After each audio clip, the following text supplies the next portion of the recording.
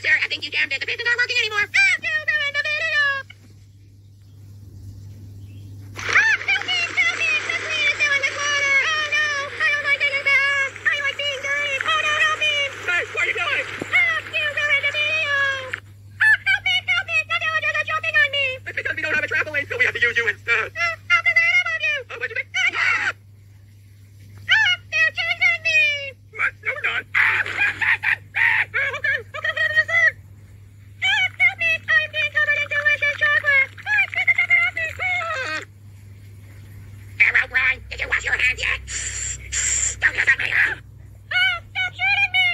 such an easy target.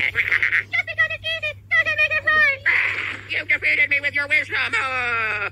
Carol Bryan, did you do your math equations yet? Uh, why do I have to do that when I can just use a calculator? Because what else are we going to do in math class?